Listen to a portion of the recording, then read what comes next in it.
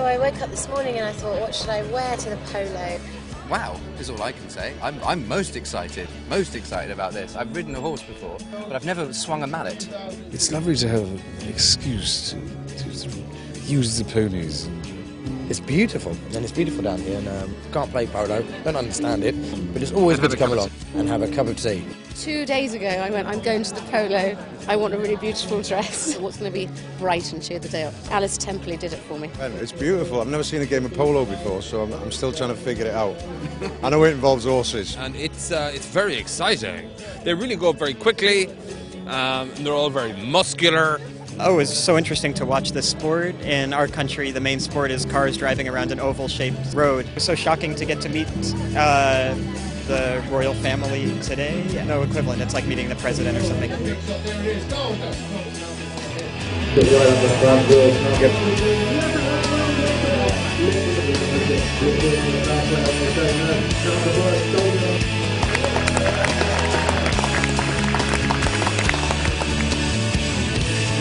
Cambridge played with it in number four. Yes, you may do.